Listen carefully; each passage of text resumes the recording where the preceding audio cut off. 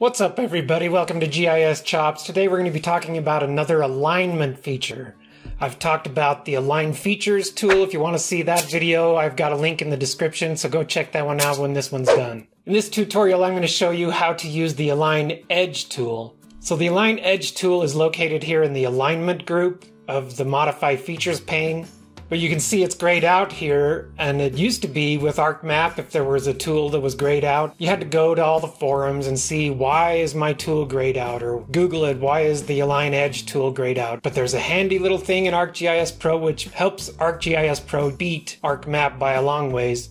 You hover over the tool, and then it says at the bottom there, this command is currently unavailable. And then it tells you why or how to enable it. To get this tool to be usable, you have to enable the map topology. So you turn on map topology and that gets your align edge tool available. When we activate the align edge tool, it shows what Esri calls the topology grid. It shows edges and nodes. What happens is it where these different features intersect, it creates a node. And then the pink lines are edges and you can see the dots are the nodes. So lines are edges, dots are nodes. So this tool works by hovering over an edge. When you do that, it changes the symbology of that edge or adds symbology to that edge to make it an interactive option. You click either the solid line or the dashed line. I'm going to zoom in so that you can see better what I'm talking about. So if you hover over an edge, it makes that edge solid and then the other one dashed. The way this tool works is which whichever edge you hover over and click, that's going to be the edge that moves. So if I click this one, it's going to drop it down to that other one, and then that makes those two lines between between those this node and this node it's now coincidence. So you see it shows up solid. Now if I hover over that line, it's trying to snap it to the one clear across so it would make this polygon essentially go away. And we don't want to do that. So, so if you click that by accident and it drops that edge over to the other one and you hit save edits, you've lost, lost that polygon. So you really got to pay attention to what you're doing when you're using this tool. We'll undo that and zoom in closer here to some of these smaller ones. So the solid line jumps to the dashed line. And we'll just go through and, oh, now that one, it's not possible, I guess.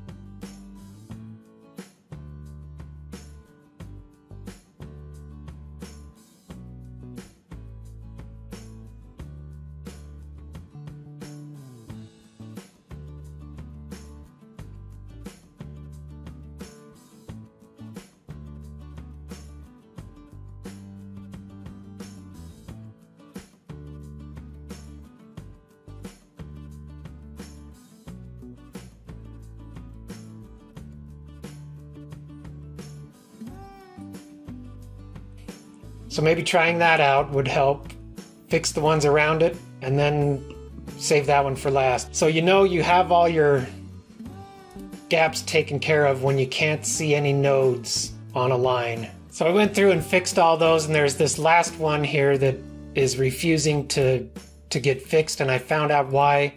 It's because it's its own polygon. If I use my select tool